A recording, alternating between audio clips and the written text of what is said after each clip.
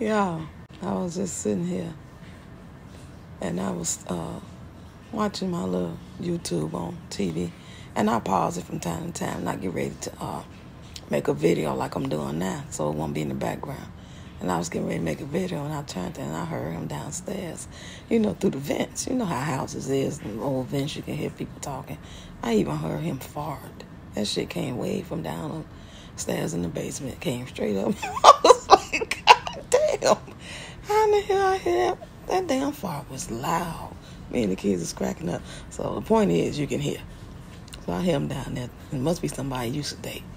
Me and you, off on one minute we together, then maybe we not. Then we one together, and then we was back on. Then we was off, and then we was on. When I seen you, you know.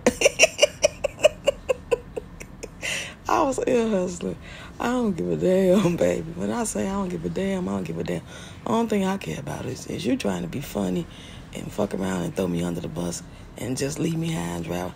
You're not letting me know that I'm gonna have to be responsible for all the bills because you're leaving, or you're gonna act funny and try to put me out again. That's the only thing I be thinking about. Other than that, baby, whatever she gonna give you, congratulations. Shit, if you want to get married, I'll gladly sign the paperwork.